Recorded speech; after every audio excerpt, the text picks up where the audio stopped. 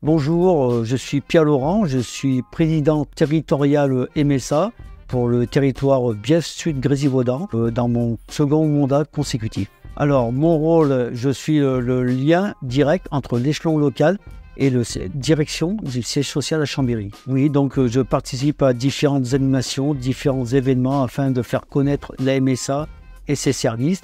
Je fais aussi remonter les problématiques euh, des différents assurés sociaux afin que, que cela soit résolu le plus rapidement possible.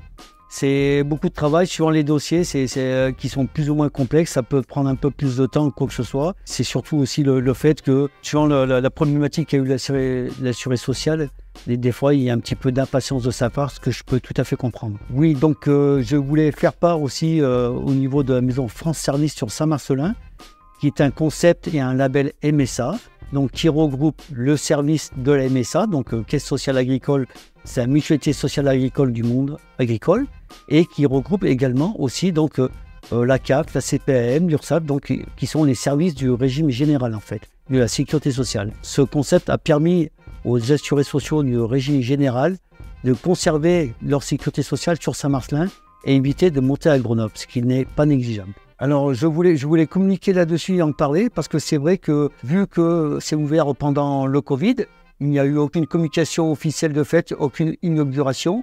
Et pendant un an ou deux ans, les gens ont été perdus, euh, se demandaient ce, que c'était, à quoi ça correspondait. Et il a fallu euh, donc faire un travail de communication. Et je profite aujourd'hui que tu m'accueilles dans tes bureaux, Fred, pour en parler. On peut faire toutes les démarches nécessaires, donc euh, suivant l'organisation aussi. Le matin, c'est ouvert au public et l'après-midi, c'est sur rendez Oui, donc je profitais également aussi euh, donc de ma présence dans tes locaux pour faire part que vendredi 12 euh, avril, donc ce vendredi-là en fin de semaine, se tiendra l'Assemblée générale de la MSA. Elle aura lieu à Aoste, en Isère.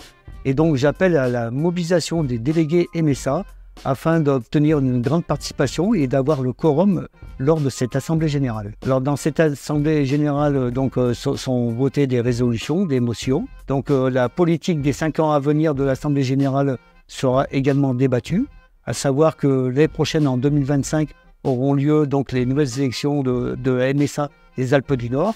Donc la MSA des Alpes du Nord, ça représente la Savoie, la Haute-Savoie et l'Isère. Oui, cette assemblée générale est ouverte uniquement aux délégués.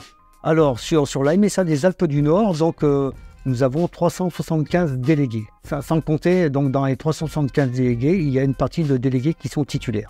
Ben, simplement, donc, euh, si vous voulez sauvegarder votre régime euh, général de mutualité sociale agricole, mobilisez-vous et venez participer à l'Assemblée générale afin que nous ayons le quorum et que les remontées des chiffres à Paris soient positives pour continuer donc à pérenniser et sauvegarder la MSA.